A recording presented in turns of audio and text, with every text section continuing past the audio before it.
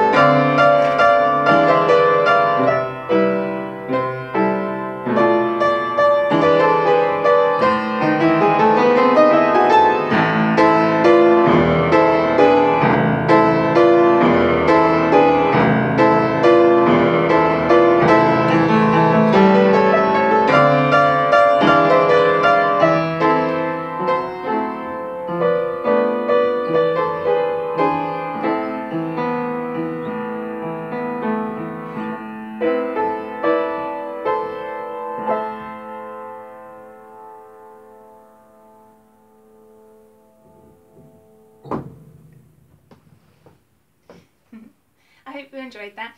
Um, I just, I, I quite like it. I realise actually I've not played a waltz for you, so that's quite nice. Maybe I'll find a waltz for the next few days or so. Um, but that's probably enough for me for today, ladies and gents. Look after yourselves, take care, and I'll see you again very, very soon. Bye!